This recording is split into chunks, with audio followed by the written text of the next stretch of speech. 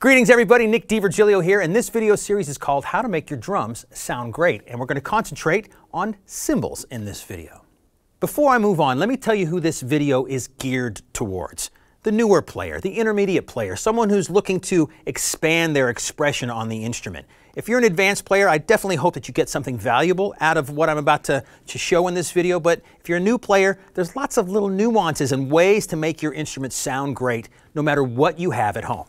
Now, how do you make your cymbals sound great? Well, there's a few things you can do as far as accessories are concerned to change the sound of your cymbals, but really, it all comes down to the cymbal sound, the style of cymbal you purchased, what you have on your kit, and then how you manipulate that.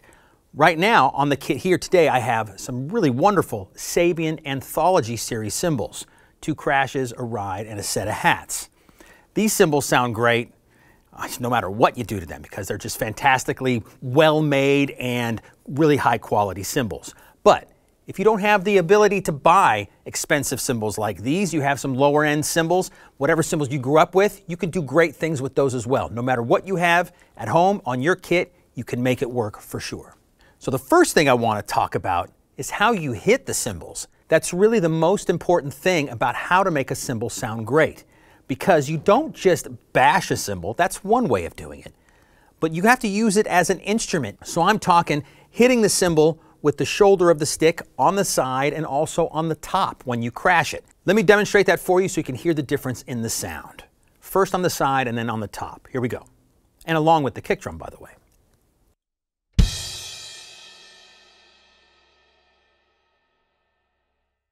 Now right on the top.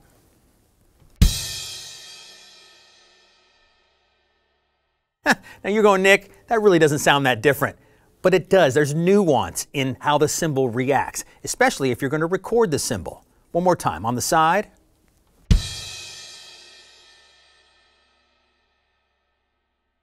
There's a little bit more fullness in there. Now right on the top.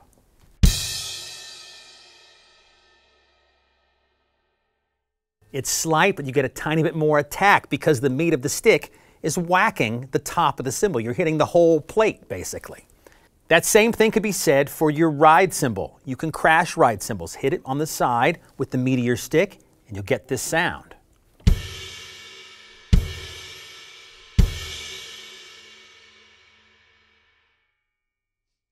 Now, ride cymbals are typically bigger than your crashes. You're going to get a little more of that sort of thing out of a ride cymbal more than you would out of a typical crash and it's a great sound. See if you can hear the whoosh when I hit it like this.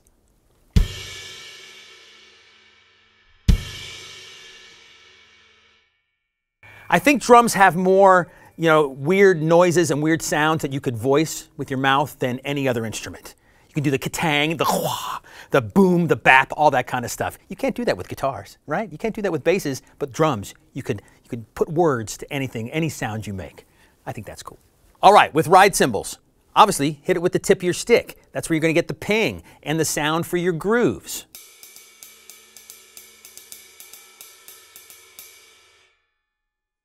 Use the meat of the stick, the shoulder of the stick, to hit the bell and go back and forth.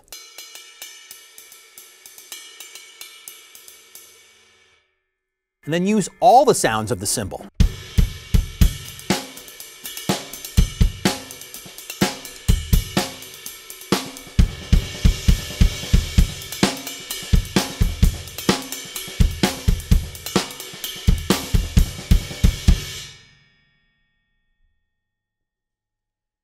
Now the Sabian Anthology line are very expressive cymbals. I can get a lot of nuance out of these cymbals. So I encourage you with whatever you have at home, mess with it. Really hit it softly and just barely touch the cymbal, hit it hard and loud and go everywhere in between and you'll find the sounds that you can bring out of the cymbals you have at home.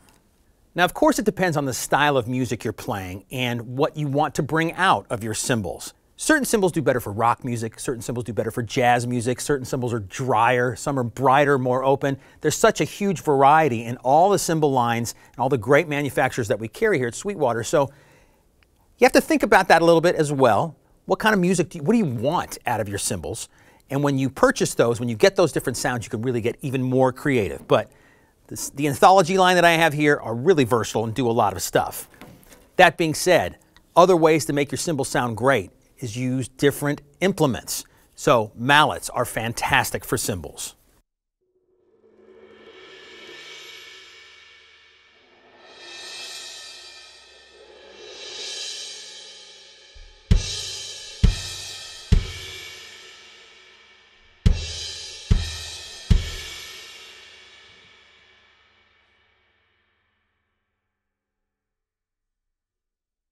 Crashing with a mallet gives you a little bit more of that quah sound out of a crash. And then just a nice big full sound of you, out of your rides. And then, of course, the big cymbal swells are just beautiful with a good set of mallets. Let's get into some soft sounds now with your brushes, wire brushes here. You can do so much with your cymbals. Let me demonstrate.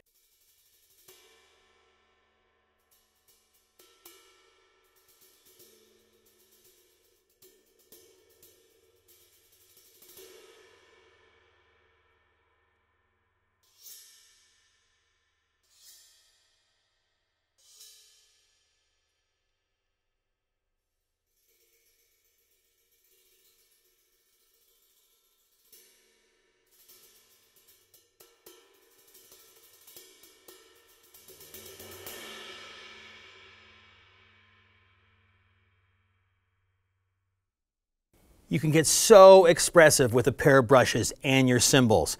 Couple that with your drums and you're making some really beautiful music. So utilize everything that the brush has. The meat of the brush, like the, all of it, just barely touch the cymbal, use the back end, right, to make this sound.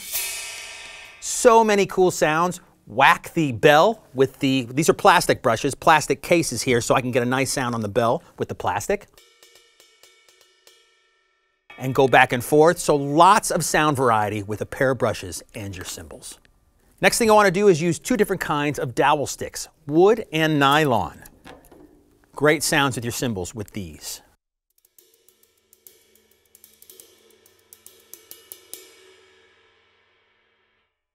Similar to your wire brush, just a little bit louder. They're a little bit thicker. They have more density to them than the wire brushes, but you get a similar vibe.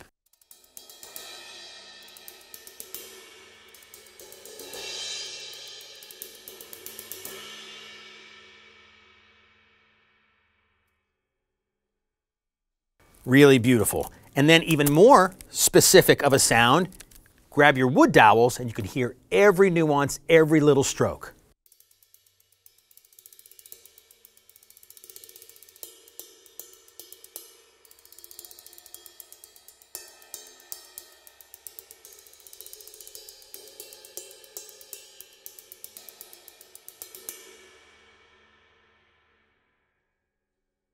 These are awesome if you're playing a soft gig, you're in a house of worship setting, a small club, anything like that, an acoustic singer-songwriter sort of a situation, some hot rods, some wood dowel sticks, and these cymbals, a small drum kit, and you're off to the races with some great sounds. Last but not least, of course, is your sticks. And like I said before, utilize everything, the tip, the shoulder, the barrel, and all of your cymbal to get just you get as many sounds as you can out of that one instrument.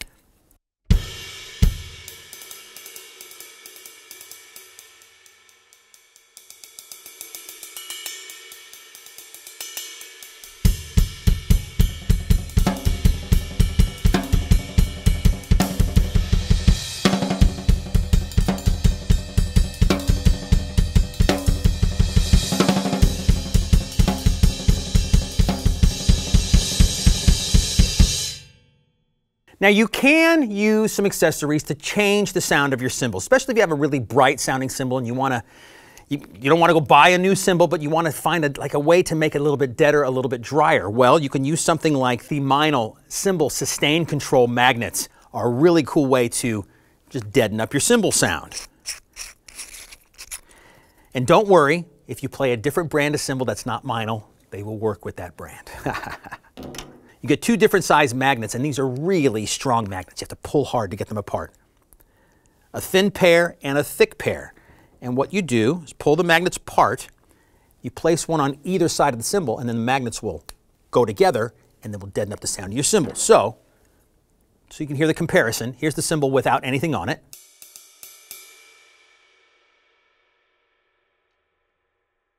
chimey, open, and all of that. I'm going to take these magnets, and the first thing I'm going to do is put it right up at the, right where the bell and the shoulder of the cymbal meet.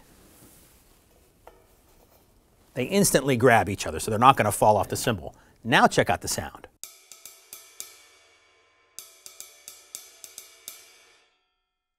It's way deader and more of a jazzier sort of sound. You can deaden the cymbal even more by moving the magnets towards the edge of the cymbal. I'm going to put them right in the middle, right there. Check out the sound.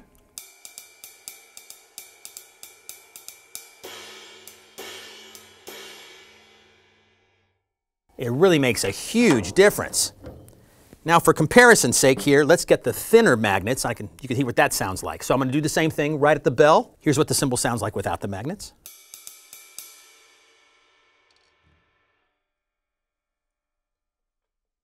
And with.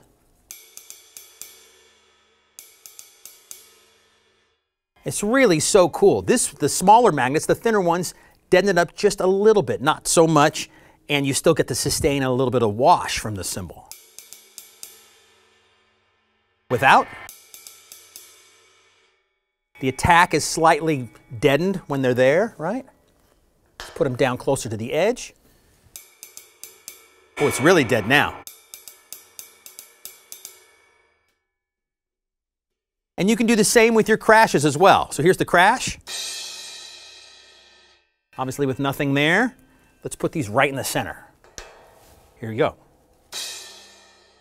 that does a quite a bit. I'd probably put these here on the bell so it doesn't deaden it as much.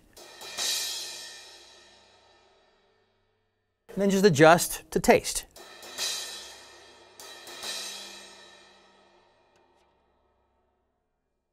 So this is one very cool accessory to change the sound of your cymbals by just putting a couple of magnets on. You can use gels like moon gel and other things like that, but again, gonna, they're going to stick to your cymbals. You might get a little bit of residue.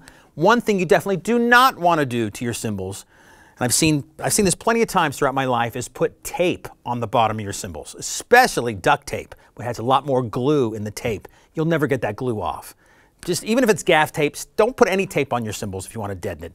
Spend a few bucks to get a, a, an accessory like this or some moon gel and you'll be way happier and your cymbals won't have any crud on them. Really, that's about it.